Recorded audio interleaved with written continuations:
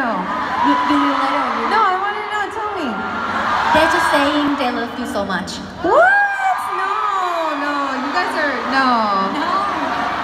Yeah I everyone. feel I, you guys are girls' generation all over again. They always make fun of me like this. Like they talk on their own and I don't understand, and they go, "Oh yeah, yeah."